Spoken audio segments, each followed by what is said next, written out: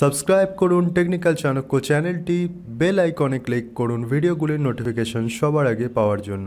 বন্ধুরা, একটি নতুন মোবাইল ফোন নেওয়ার সময় বেশিরভাগ সময় আমরা খেয়াল রাখি আমাদের মোবাইল ফোনে কত বেশি জিবির ইন্টারনাল স্টোরেজ আছে র্যাম আছে, বা আমাদের মোবাইল ফোনে কত বেশি মেগাপিক্সেলের ক্যামেরা আছে, বা মোবাইলটিতে কত বেশি এমএইচের ব্যাটারি লাগানো আছে। কিন্তু আমরা বেশিরভাগ সময় একটি গুরুত্বপূর্ণ কম্পোনেন্টের বিষয়ে ভুলে যাই, যেটির মাধ্যমে আমরা আমাদের মোবাইল ফোনটিকে প্রত্যক্ষভাবে ব্যবহার করি। সেটি হলো আমাদের মোবাইল ফোনের ডিসপ্লে এবং মোবাইল ফোনের ডিসপ্লের ক্ষেত্রে আমরা বিভিন্ন সময় বিভিন্ন টার্ম শুনে থাকি, যেমন IPS LCD display TFT LCD display বা ওলেড ডিসপ্লে এই ভিডিওটি দেখতে থাকুন, আমি আপনাদের সাথে সহজভাবে বিশ্লেষণ করেছি আমাদের মোবাইল ফোনের ব্যবহৃত ডিসপ্লেগুলির টেকনোলজির সম্বন্ধে। নমস্কার বন্ধুরা, আমার নাম সুরোহিত ঘোষ, আপনারা দেখছেন বাংলা ভাষার প্রথম প্রযুক্তিগত চ্যানেল টেকনিক্যাল চাণক্য, যেখানে আমি আপনাদের সাথে বর্তমান সর্বশেষ প্রযুক্তিগুলি সহজতর উপায়ে বিশ্লেষণ করে থাকি। চলুন তাহলে জেনে নেওয়া যাক আমাদের মোবাইল ফোনে ব্যবহৃত ডিসপ্লেগুলির টেকনোলজির সম্বন্ধে।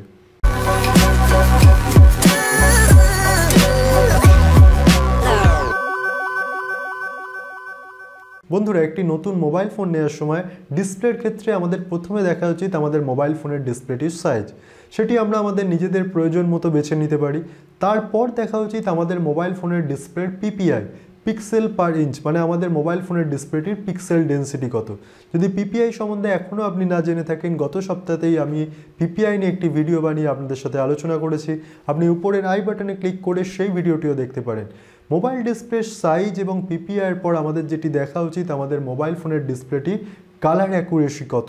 এবং আমাদের মোবাইল ফোনের ডিসপ্লেটির কন্ট্রাস্ট কত ভালো এবং মোবাইল ফোনের ডিসপ্লেটি কত কম পাওয়ার কনজিউম করে এবং সেটিকে আমরা কত সাইড থেকেও দেখতে পাই মানে সেই ডিসপ্লেটির ভিউইং অ্যাঙ্গেল কত ভালো।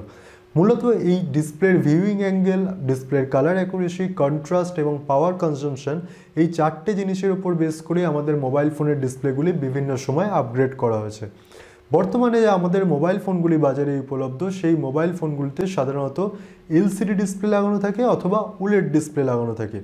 এলসিডি ডিসপ্লের ফুল ফর্ম হচ্ছে লিকুইড ক্রিস্টাল ডিসপ্লে ওলেড ডিসপ্লের ফুল ফর্ম হচ্ছে অর্গ্যানিক এলইডি ডিসপ্লে চলুন প্রথমে আমরা কথা বলি আমাদের মোবাইল ফোনের এলসিডি ডিসপ্লের সম্বন্ধে।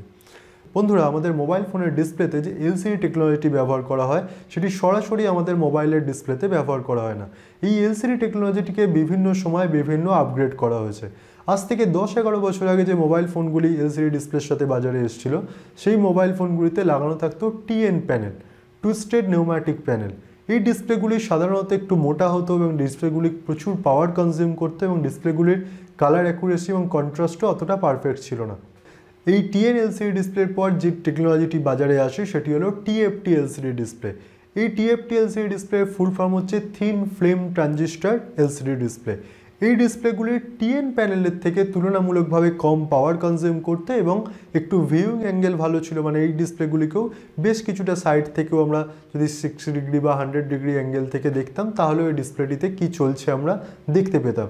কিন্তু এই ডিসপ্লেগুলিতেও কালার অ্যাকুরেসি বা কন্ট্রাস্ট অতটা ভালো ছিল না। এখানেও কালারগুলি খুব ডাল দেখাতো এবং কালারগুলি খুব একটা পারফেক্ট দেখাতো না। এই টিএফটি এলসিডি ডিসপ্লের পর মোবাইল ডিসপ্লের যে আপগ্রেডেশনটি হয়, সেটি হলো হচ্ছে আইপিএস এলসিডি ডিসপ্লে, যার ফুল ফর্ম হচ্ছে ইন প্লেন সুইচিং।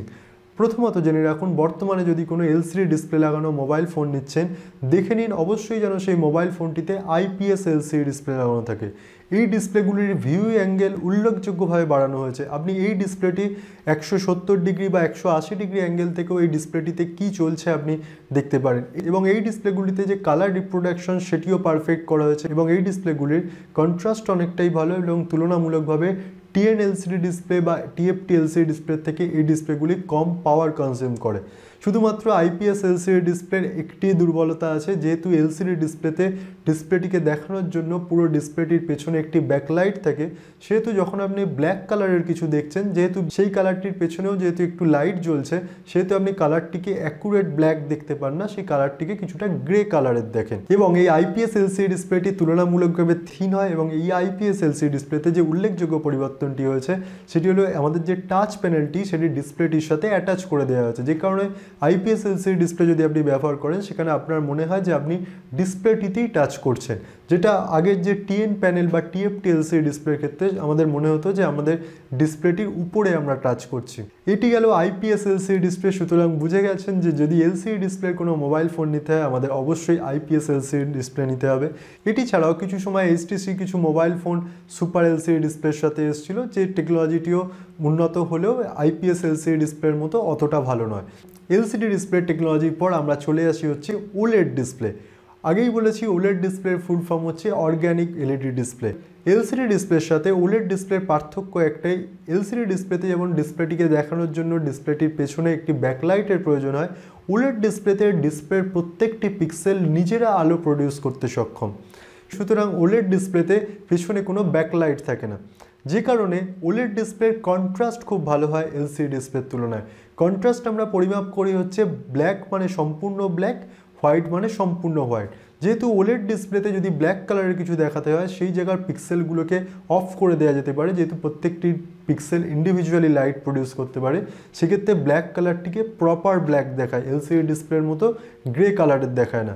সেই কারণে ওলেড ডিসপ্লের কন্ট্রাস্ট খুব ভালো হয়। এছাড়া যেহেতু আমি আগেই বললাম যে ওলেড ডিসপ্লের প্রত্যেকটি পিক্সেল নিজেরা লাইট প্রডিউস করতে সক্ষম, সেক্ষেত্রে যদি স্ক্রিনে কিছু ব্ল্যাক কালারের দেখানো হয়, সেই ক্ষেত্রে ওলেড ডিসপ্লে সেই পিক্সেলগুলি যেহেতু কোনো লাইট প্রডিউস করে না, সেহেতু এই ডিসপ্লেটি আইপিএস এলসিডি ডিসপ্লের তুলনায় খুব কম পাওয়ার কনজিউম করে।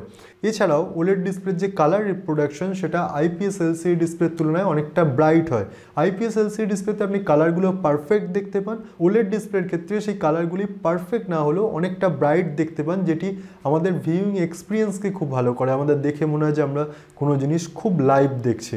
এছাড়া যদি আমরা ভিউইং অ্যাঙ্গেলের কম্পেয়ার করি, তাহলে ওলেড ডিসপ্লে এবং আইপিএস এলসিডি ডিসপ্লের ভিউইং অ্যাঙ্গেল মোটামুটি সমানই হয়। ওলেড ডিসপ্লের একটি ডিসঅ্যাডভান্টেজ হচ্ছে, যেহেতু এই ডিসপ্লেগুলি বানাতে অর্গ্যানিক এলইডি ব্যবহার করা হয়, সেহেতু যদি আপনি কোনো ফ্ল্যাগশিপ মোবাইল ফোন দু বছর বা তিন বছরের জন্য নিচ্ছেন এবং আপনি মোবাইল ফোনে খুব বেশি ভিডিও দেখেন বা মুভি দেখেন বা আপনার ডিসপ্লেটি সবসময় অন থাকে, সেহেতু যে পিক্সেলগুলি খুব বেশিক্ষণ অন থাকে, সেই ডিসপ্লেগুলি পুড়ে যাওয়ার সম্ভাবনা থাকে। যে কারণে দেখবেন আপনি দু তিন বছর ধরে যদি কোনো ওলেড প্যানেল ইউজ করেন, কিছু কিছু জায়গাতে দেখবেন পিক্সেলগুলি পুড়ে গেছে বা পিক্সেল বার্ন দেখতে পাচ্ছেন, যেটা এলসিডি ডিসপ্লের ক্ষেত্রে হওয়ার কোনো চান্স নেই। সুতরাং যদি আমরা ওলেড ডিসপ্লের সাথে আইপিএস এলসিডি ডিসপ্লের তুলনা করি, যদি আমরা ভিউইং অ্যাঙ্গেল কম্পেয়ার করি, তাহলে ওলেড ডিসপ্লে এবং আইপিএস এলসিডি ডিসপ্লের ভিউইং অ্যাঙ্গেল মোটামুটি সমান হয়। কালার রিপ্রোডাকশনের ক্ষেত্রে আইপিএস ডিসপ্লেতে পারফেক্ট কালার দেখতে পান ওলেড ডিসপ্লেতে তুলনামূলক ব্রাইট কালার দেখতে পান। আর যদি কন্ট্রাস্টের কথায় আসি, তাহলে ওলেড ডিসপ্লের কন্ট্রাস্ট আইপিএস এলসিডি ডিসপ্লের তুলনায় ভালো হয়। কারণ আইপিএস এলসিডি ডিসপ্লেতে যেহেতু পেছনে ব্যাকলাইট থাকে, সেহেতু আমরা ব্ল্যাক কালারটিকে কিছুটা গ্রে দেখি। ওলেড ডিসপ্লের ক্ষেত্রে পিক্সেলগুলিকে যেহেতু অফ করে দেওয়া হয় সেই ক্ষেত্রে আমরা ডার্ক ব্ল্যাক দেখতে পাই। এছাড়াও যদি আমরা পাওয়ার কনজামশনের কথায় আসি, ওলেড ডিসপ্লেতে যদি ব্ল্যাক কালারের কিছু জিনিস দেখানো হয়, সেক্ষেত্রে যেহেতু পিক্সেলগুলি সম্পূর্ণরূপে বন্ধ করে দেওয়া সেহেতু ওলেড ডিসপ্লে কম পাওয়ার কনজিউম করে আইপিএস এলসিডি ডিসপ্লের তুলনায়। কিন্তু যদি আপনি সূর্যের আলোতে ওলেড ডিসপ্লে এবং আইপিএস এলসিডি ডিসপ্লে কম্পেয়ার করেন, আপনি আইপিএস এলসিডি ডিসপ্লেতে ভালো দেখতে পাবেন। যেহেতু আইপিএস এলসিডি ডিসপ্লে প্যানেলের পিছনে একটা ব্যাকলাইট থাকে, সেহেতু সূর্যের আলোটাও এতে মোটামুটি স্পষ্ট দেখা যায়। ওলেড ডিসপ্লের ক্ষেত্রে ভিজিবিলিটি কিছুটা কম হয়। এছাড়াও যদি আমরা দুটি ডিসপ্লে কালার কম্পেয়ার করি, সেক্ষেত্রে এটি বলার বর্তমানকালে সব মোবাইল ফোনগুলিতে আমরা কালার অ্যাডজাস্টমেন্ট করতে পারি। আমরা চাইলে আমাদের ডিসপ্লের কালারকে আমরা ওয়ার্ম করতে পারি বা কুল করতে পারি মানে আমরা চাইলে কিছুটা ব্লুইস করতে পারি বা কিছুটা ইয়োলিস করতে পারি। সেক্ষেত্রে কালার কম্প্যারিজন নিয়ে বা কালার অ্যাডজাস্টমেন্ট নিয়ে যে ডিবেট সেটি আজকের দিনে দুটি ডিসপ্লের মধ্যেই করার কোনো মানে হয় না। এছাড়াও সবশেষে আরেকটি ডিসপ্লের কথায় চলে আসি, সেটি হচ্ছে অ্যাপেলের রেটিনা ডিসপ্লে যখন দু হাজার এগারো সালে অ্যাপেল প্রথম আইফোন ফোর এস নিয়ে আসে, তখন আমরা এই ডিসপ্লেটি সম্বন্ধে পরিচিত হই। মজার ব্যাপার হলো এই রেটিনা ডিসপ্লে হলো একটি মার্কেটিং ট্রাম এটি আসলে একটি আইপিএস এলসিডি ডিসপ্লে কিন্তু দু হাজার এগারো সালে অ্যাপেল যখন প্রথম রেটিনা ডিসপ্লে নিয়ে আসে, তখন এই ডিসপ্লেটির পিপিআই বা পিক্সেল পার ইঞ্চ ছিল থ্রি টোয়েন্টি সিক্স, যেটি সেই সময় অন্য অ্যাভেলেবেল মোবাইল ফোনগুলির পিপিআইয়ের তুলনায় অনেকটাই বেশি ছিল। কিন্তু বর্তমানকালে প্রচুর মোবাইল ফোনের পিপিআই আপনি ফোর ফিফটি পিপিআই বা ফাইভ হান্ড্রেড পিপিআইও দেখতে পাবেন। কিন্তু যদি আপনি আইফোন সিক্স এসেরও রেটিনা ডিসপ্লে দেখেন, সেখানেও এখনও একই থ্রি টোয়েন্টি সিক্স পিপিআই আছে এবং অ্যাপেল তাদের বর্তমান মোবাইল ফোনগুলিতে ওলেড ডিসপ্লে ব্যবহার করে। সুতরাং সবশেষে এটি বলার, আমাদের মিড রেঞ্জের মোবাইল ফোনগুলিতে সাধারণত এলসি ডিসপ্লে লাগানো থাকে। কারণ ওলেড ডিসপ্লের যে ম্যানুফ্যাকচারিং কস্ট সেটি এলসিডি ডিসপ্লের তুলনায় অনেকটাই বেশি হয়। সেহেতু মিড রেঞ্জের মোবাইল ফোনগুলিতে এলসিডি ডিসপ্লে লাগানো হয়।